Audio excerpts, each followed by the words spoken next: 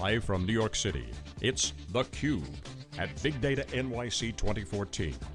Brought to you by headline sponsor, WANdisco, with support from EMC, MarkLogic, and Teradata.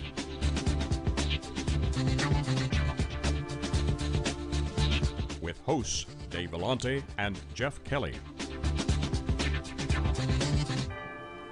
Welcome back to New York City, everybody, and we are really pleased. We're going to dig into the networking uh, space a little bit. Dave Husak is here. He's the founder and CEO of Plexxi, a company in, uh, in New Hampshire.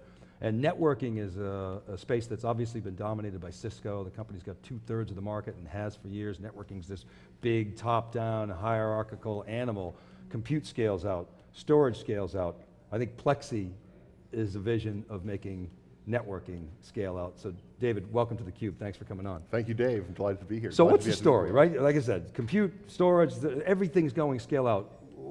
The network has to go scale out, does it not? It does, it's the, it's the glue that, it's, it's the element that makes all those other things work. It's the, uh, uh, for high performance, scale out data, accessibility, uh, and computing. And uh, Hadoop is you know, obviously a, a, fantastic use case, a fantastic expression of all that.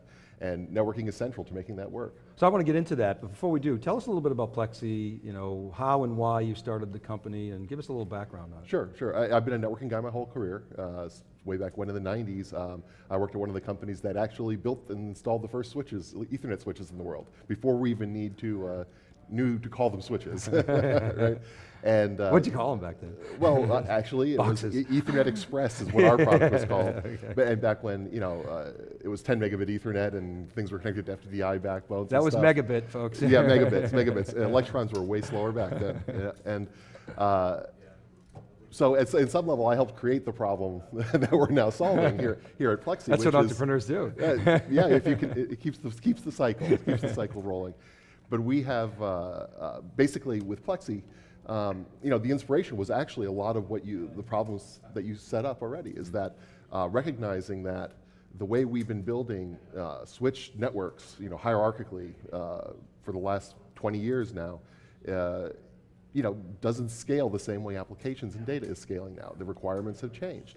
And you know, tw 20 years is a good run for, a, for, a, for a technology, and uh, it was time for something different. It, and a lot, so the inspiration for Plexxi, and we got started, you know, with the idea sort of germinated and uh, developed back in 2010, raised our A round in 2011, uh, followed that up with a couple other, uh, uh, you know, uh, funding rounds in rapid succession, and you know, we're, we we think we have. Um, a take on networking for scale out applications and Hadoop and, and big data and that uh, offers you know, really compelling advantages compared to the alternative, which not only is Cisco, but is kind of everybody else, right? They all essentially build the, fundamentally the same kind of product, whether it's leaf spine, three traditional Cisco three-tier core switches and things, right? They all have this property that you know, if you want to build wider, you have to build taller, right? And so it's fundamental geometry. You can't get away from that, right?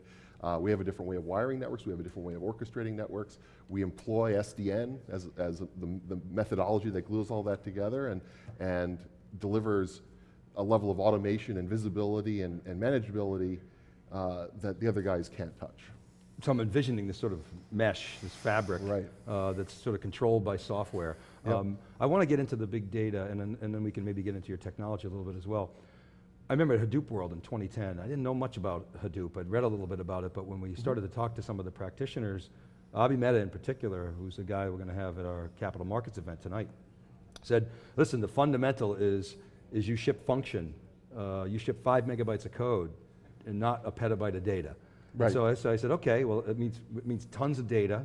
I get that. I, right. It, means, it means getting compute closer to the data. Mm -hmm. I mm-hmm. get that.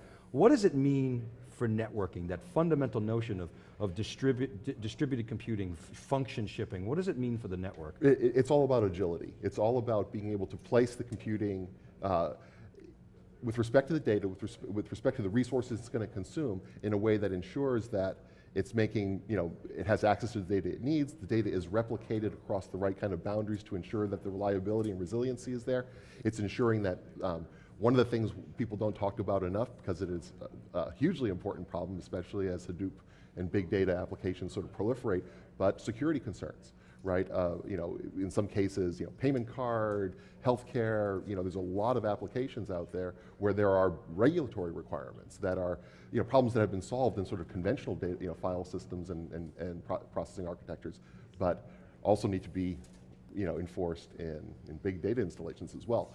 All of these things are mediated, you know, historically by, you know, network fun, you know, big boxes of, of network functions and firewalls and filters and such um, that are static, right? And so Moats that are dug around the castle. Exactly, exactly. And uh, that's you know sort of counter purpose to uh, the way we kind of now think about uh, employing computing and accessing data in large sets that may be geographically distributed. Maybe you know my data, some of my data, some of your data to actually accomplish a particular application. So the the thing that ties all that together, you know, can't be static. It, ha- it has to be agile. It has to be fluid.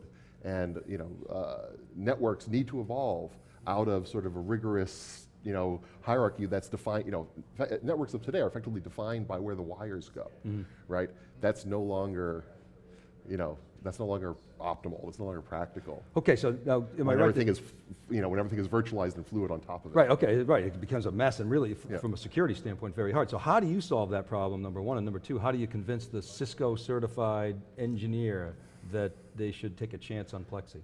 Uh, uh, well, hopefully we're making it less of a chance as the product. We, you know, we are delivering our sort of second version, uh, you know, our, our, our, of our products, you know, with a lot, like a lot of starts. So, so we're a little over three years old, right? And uh, you know, we now have delivered Rev 2, which is, as you know, for startups, Rev 2 is the real, the real first product, right? The Rev 1 beta products were, were the, the, the test the water Yeah, kind of things, right? Uh, but it- first, yeah, it is less of a chance because we are, you know, fully interoperable. We've plugged into lots of people's networks, lots of environments, and so the ability to add Plexxi capability, let Plexxi Agile networking capability to existing networks is easy. Um, I did actually worry at the beginning about the question you posed, right? Like, because uh, you know, back then we were telling the, you know, sort of the big story, the, you know, what it's going to be like to have a network that works this way, that's software defined and agile, and, and and of course, that, that narrative is immediately appealing to the CIOs, the application architects, the guys who, you know, the users of the network, as opposed to the guys who build and operate the network, right? And I, and I did worry at the, you know, the beginning about, well, you know, we definitely have to engage the networking engineering community, you know, the guys with the CCIEs and JNCIEs, Right. all those guys. And, um, you know, they're going to be resistant to change because, you know, uh, they've been doing it. A lot of people have grown up in a, in, in a career where they've never known anything else. It's been 20 years since we've been basically doing things the same way, right? Right. And they have huge investments in scripts and CLIs, you know, the, kind of the, the archaic ways that networks are built and operated generally today, right? But it's their house. It, it's, it is their house, and so you, you can't, you know, not in my house, right? You can't, you can't just expect them to, you know, to, to, to accept something, you know, new and different. Um, what I didn't, so we started engaging, you know, like about, you know, as we were delivering our beta products into our first, uh, first customers, you know, we were uh, obviously had to engage, right? And what was striking was how, how much of the frustration on the network user side was actually mirrored in the network engineering side, right? These guys knew they were behind. They knew that the guy who was orchestrating, you know, vSphere and vCenter was, you know, can make thousands of servers, you know, spring into existence, vanish, copy themselves, dance across the networks, you know, with keystrokes and mouse clicks all day. And they were the guys that were still, you know, typing cryptic commands into CLIs at 3 a.m. on Sunday mornings, right? Which was, you know, the gap between that is just crazy, right?